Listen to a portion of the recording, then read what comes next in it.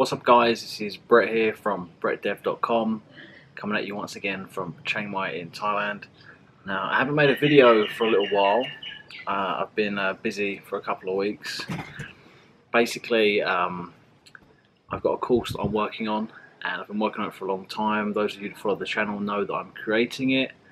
It's just evolved and evolved and evolved and got bigger and bigger and bigger and it's now going to be free as well. So that's what I've been doing. I've been working on that for the past couple of weeks.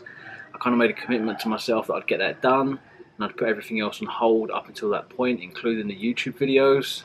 And not only that, but as soon as I did that, I landed a couple of really big uh, client contracts. So needless to say, I've been working like a absolute madman but I'm back and I figured I'd make another video for you guys. I had a question come in in the comments and um, somebody was asking about web development and they wanted to basically know um, can you become a web developer without learning to code?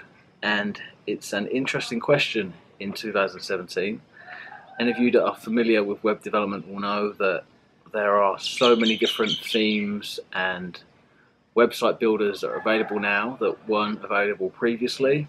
And it's a particularly interesting question because I have a ton of clients that do just that. So can you become a web developer without learning to code? Kind of you can yeah. Um, you're not necessarily going to be a developer.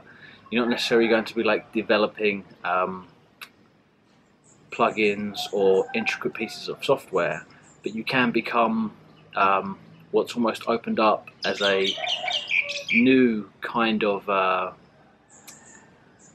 career, I guess you could say, but you could become what's like a website builder, right? So there's been a big space in the market that's opened up for website builders, and these people use um, various kind of like drag and drop builders inside of WordPress in particular. And like I said, that's what a lot of my clients actually do. So they will build websites for their for local businesses and um, clients that they pick up, and they'll use these drag and drop builders such as Divi, um, or there, there's a whole bunch of them. Um, every theme has a different builder integrated into it, pretty much nowadays. So they use these drag and drop builders. They'll they'll try and get the sites looking as they want them, and then pretty much what they do is they come to me for any customizations that they need.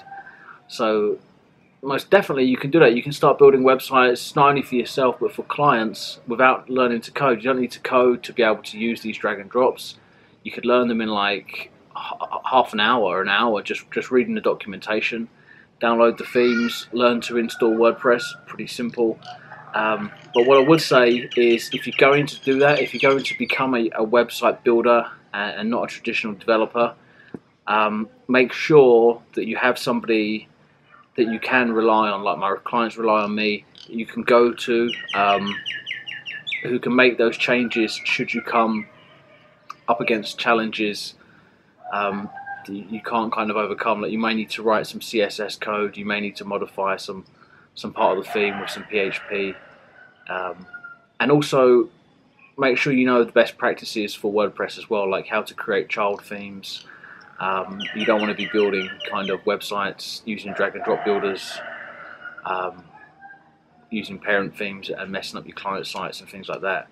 But um, yeah, absolutely. So that's, that's a really good. Um, anybody that wants to get into web design, that's a great way to go. Uh, like I say, like literally half of my clients, that is exactly what they do. Half of my clients are web development companies that aren't really web development companies. They're just like website building companies, right? Um, so yeah, I hope that answers the question. Like I say, um, I've not done any videos for a couple of weeks, and I'm not sure at what pace I can continue to put them out at the moment. I'm going to be a little bit slow probably for the next couple of weeks until I get this done. Um, but this course I've been working on for a very long time pretty much it's it's a course about freelancing and essentially what I've done is I'm I laid out exactly what I do uh, in my freelancing business.